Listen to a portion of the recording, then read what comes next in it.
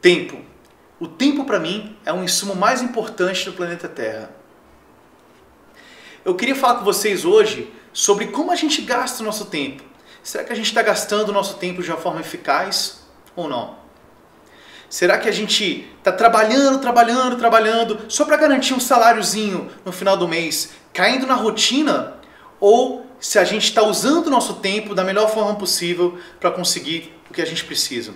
Tem gente que dá mais valor ao dinheiro do que ao tempo.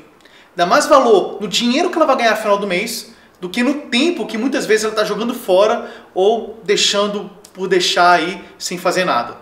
Né? Então, como a gente pode gastar o tempo da melhor forma possível? É uma coisa para reflexão isso aí.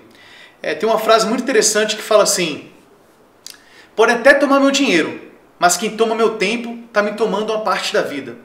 O tempo, para mim, é a coisa mais valiosa do mundo. Por isso, eu trouxe uma reflexão para a gente pensar junto aqui.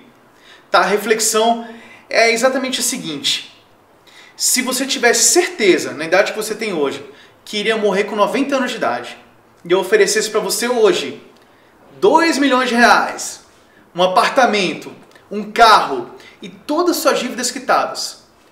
E eu queria, em troca disso, 20 anos da sua vida na velhice. Em vez de você ter certeza que iria morrer com 90 anos, você teria certeza que quando chegasse aos 70 anos, você iria morrer.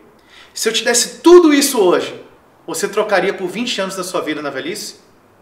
É interessante a gente pensar isso, porque o jovem, geralmente, tem muita energia e pouco dinheiro. E a pessoa mais velha geralmente tem pouca energia e mais dinheiro.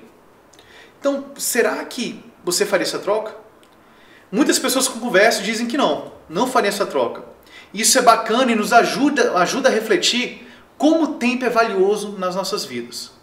Você está usando o seu tempo da maneira certa? Na sua startup, na sua empresa, na sua vida? Está usando?